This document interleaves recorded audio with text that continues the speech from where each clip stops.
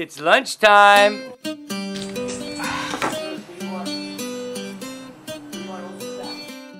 I'm Stephen Brooks, here in my home in Punta Mona, Costa Rica. 15 years ago, I landed here and started creating a tropical paradise off the grid in the jungle. You need a boat to get to Punta Mona, and since there are no supermarkets out here, I had to make my own by planting hundreds of species of edible plants and tropical fruits. Mother Nature keeps my pantry overflowing with exotic abundance, and I keep finding delicious ways to serve it up.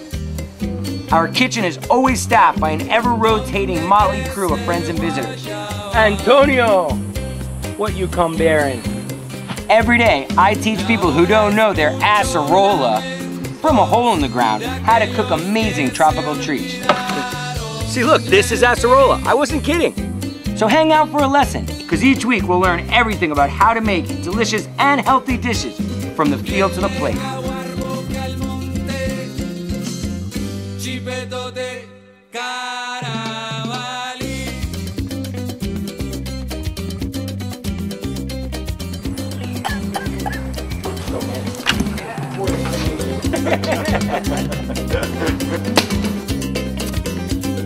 The mustard is coming up. Arugula.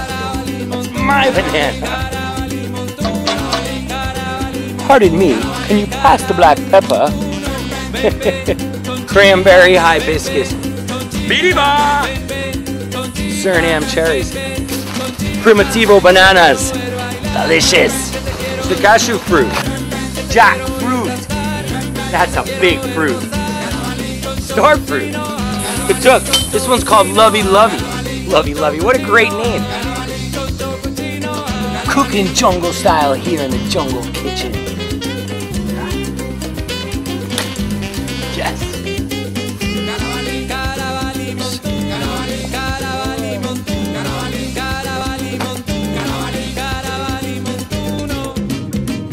I'm Stephen Brooks, and you're invited to come see what's cooking here in the Jungle Kitchen.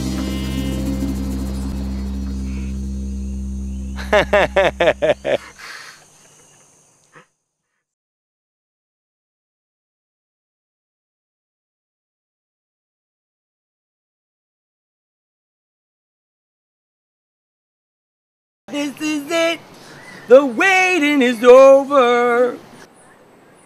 You know, if I had to describe, you know, what what is the Jungle Kitchen? I mean, it's we are super creative with the ingredients that we have. You know, it's not like we could just go to the store and grab whatever we need. We have what we have. And then we, we don't have any refrigeration, so we have to be really creative with the leftovers, and I'm really good at that. Um, you know, like for example, last night's rice was this morning's rice pudding.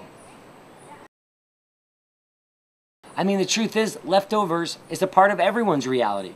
So why can't you be gourmet with them and turn them into some real incredible jungle treats?